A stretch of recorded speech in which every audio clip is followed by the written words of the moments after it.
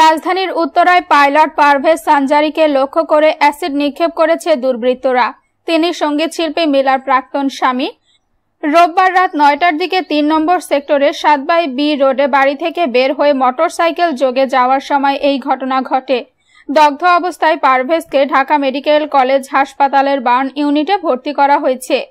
ঢামেক camp পুলিশের in charge inspector Bachchu Mia বলেন পারভেজের দুই হাত, দুই পা ও পেটে অ্যাসিড লেগেছে।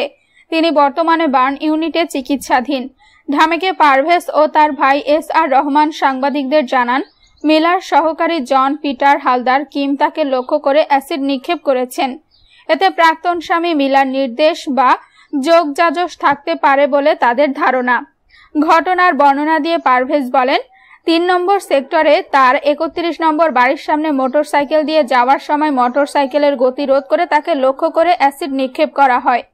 প্রসঙ্গত গত এক বছর আগে মিলার সঙ্গে পারভেসের বিবাহ বিচ্ছেদ হয়।